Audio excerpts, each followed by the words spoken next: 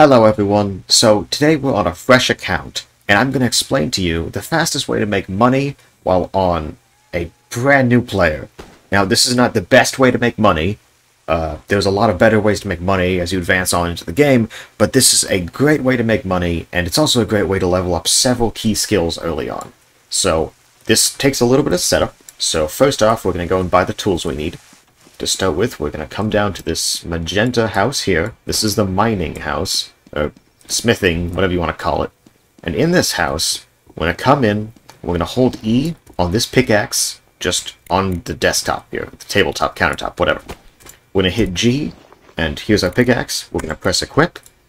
And now we're going to enter our radial hotbar, which is done with tab, and we're going to press, you know, 1 through 6, and now it's on our regular hotbar. And so if we press 4, here's our pickaxe. Very simple. Now we're going to come in this pink building. We'll do the same thing.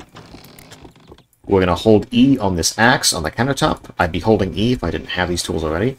And I can just equip it with F. Here it is on my radial hotbar. And here it is uh, on my regular hotbar right there. Very simple. That's my axe. The next thing we're going to do is we're going to run all the way over to the mine, which Sounds a lot farther than it actually is, trust me. Uh, if you have a map, which you should spawn with, it's right here. It's called Deep Cavern.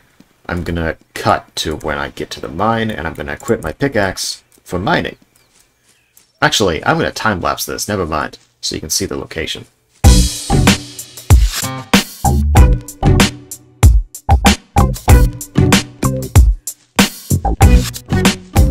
So now that we're in the area of the mine, we're going to go along the coastline, looking for... Uh, there's the cave, right there. We're going to do a little spelunking.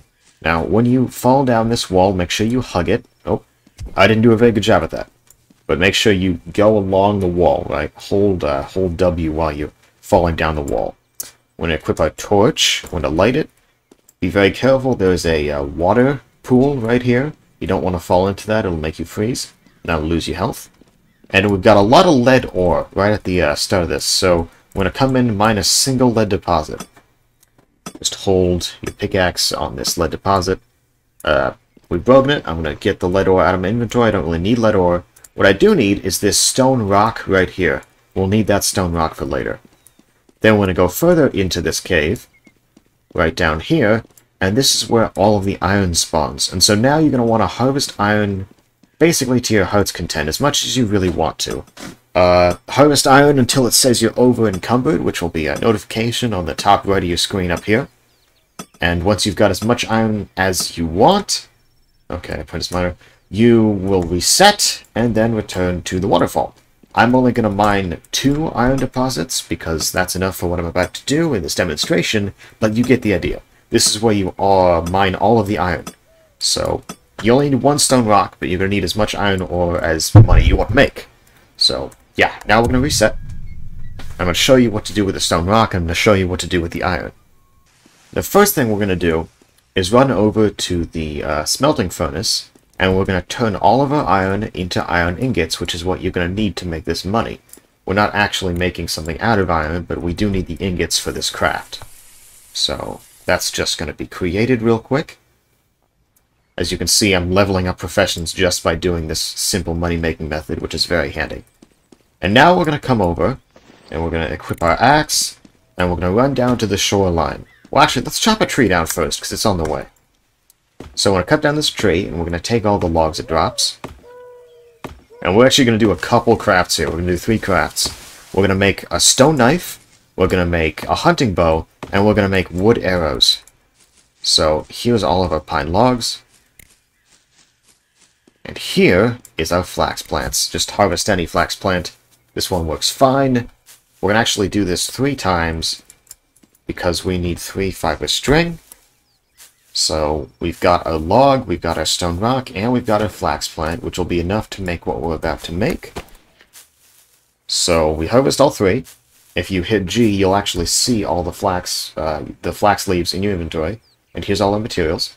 We hit C, we create, uh, let's create, oh, we have to make fiber string, right, yes, so, fiber string, we've made three fiber string there, that's gonna fill up, one, two, three, hunting bow, craft the hunting bow there.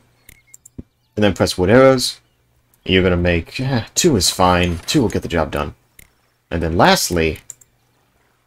Oh, I need one more pine log. Okay. Lastly, we're going to get one more pine log, and we're going to make our stone knife. I miscalculated. I think I need seven logs instead of six. So, here's our pine tree. And this is why at the start... Actually, I didn't, but at the start, I was supposed to mention you need to do this in a very small server so that there's not a bunch of new players doing the same thing, hunting the same rabbits, because that, that can happen, so just be aware of that. Do this in a small server if possible, and then our last craft is the stone knife. Make one of those, and that will enable us to skin any animal we kill, because that's what we're about to do. So the stone knife's going to finish up. And we're going to hop servers in just a second. I didn't realize this server has grown by 18 players since I joined it.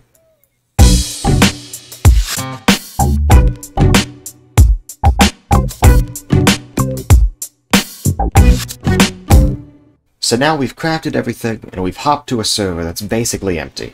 So we're going to equip our hunting bow, and we're going to equip our stone knife. I'm going to put my hunting bow in the 1 slot, stone knife's already in the 4 slot.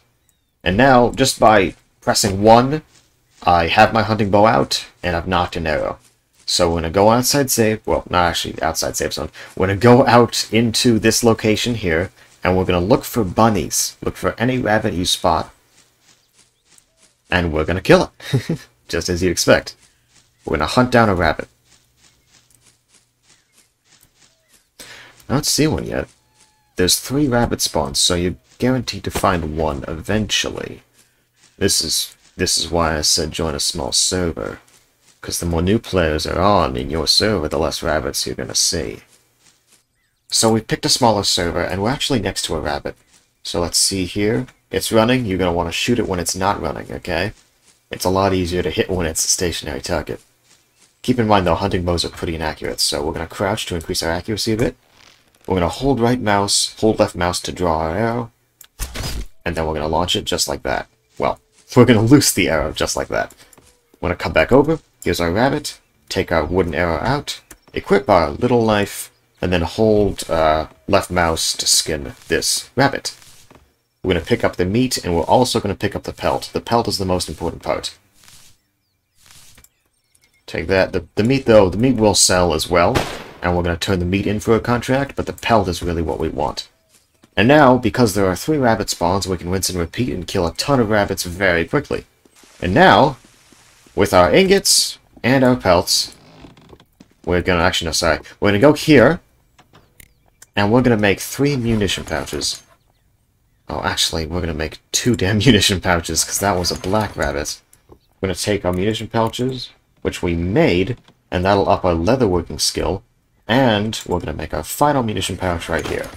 So essentially what we've done here is we've combined our rabbits, they're not, they're not black, they're, they're brown and gray, and we've combined our iron ingot to make a munition pouch. And these sell for a good bit of money. And the cool thing is, there's a ton of rabbits, and iron is very easy to acquire. And so you can just purchase the rabbits here, if you, you want to take a little bit of a cut in the profit. Uh, and the iron you can amass very easily once you have a good backpack. And that's how you make a ton of money. So we're going to come over here.